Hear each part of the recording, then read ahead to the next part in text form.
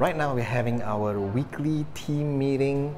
Um, the focus of today's meeting is to actually um, plan the workout structure, um, workout cycle that all our heroes will be going through.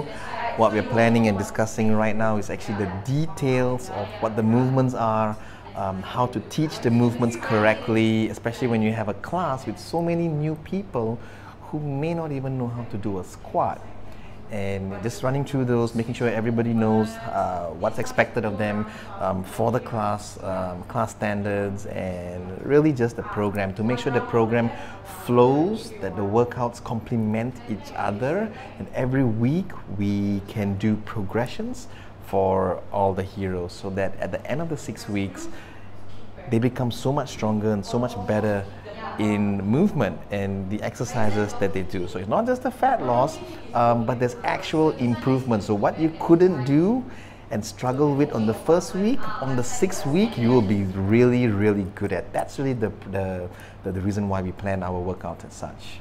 So I'm at home and I'm trying to get um, to get some work done. Just really again preparing materials for the six week challenge participants. Um, and Kiwi's here keeping me company. Kiwi? Kiwi? Kiwi, you helping me do the spreadsheets? You helping me do the spreadsheets? She's helping me do the spreadsheets. Say bye. Actually, she's not helping. She's actually in the way. You need to move. Okay, right now it's the evening. We are having a um, what we call a Heroes 101 class, which is basically kind of like an orientation, get to know how to move better, back to basics kind of a class which we have for all our members who are new. It's a free class, they can do as many as they want. They learn basic movement, they learn our culture, they learn the do's and don'ts, and we're gonna go in and have a look. Up, but slide when chest comes down until your palm mid chin touches your mid chin. Almost touching your shoe, but not there yet. Okay? Next thing I want you to focus on is feel the stretch behind the hamstring. So yes, hold plank, hold plank. Good, knees off the ground. Yeah, from here, I want you to focus on your shoulder directly above your palms. Yeah, in the abdominal muscle when you do the workout. Okay, meanwhile, everyone is outside waiting for the next class to start. What am I missing outside here? What are you doing, Joyce? Vitamin C time. Joyce is having her vitamin C. Is anyone weigh, is anyone weighing in today? Anyone coming in to weigh in? Still? Yeah, I just did like seven. Okay, so Joyce just did seven weigh-ins. So here's the thing, it's day one.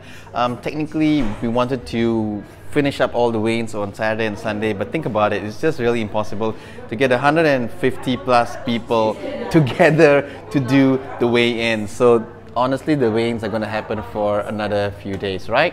Yeah. We need to weigh this guy. This guy needs to lose weight. Has he done his weigh-in? Okay. It's really quiet in here right now. The time is 9:20 p.m. and we're just wrapping up our last class. They are doing their stretches and chilling out and relaxing in there. Um, but boy, it's been uh, it's been quite a day. So our schedule list is empty. We had two, three, four, five, six, eight classes today.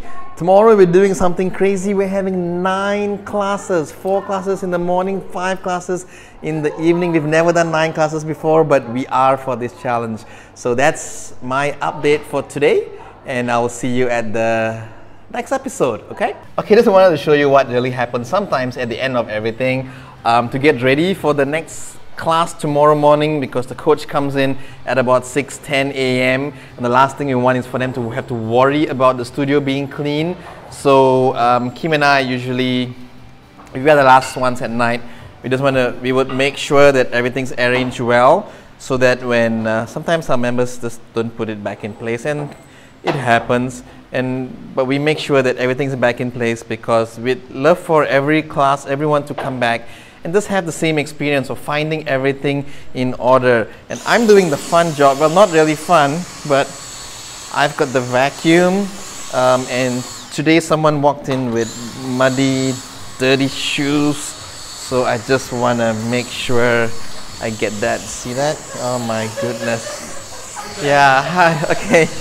So that's it. Bye bye. Thank you for watching.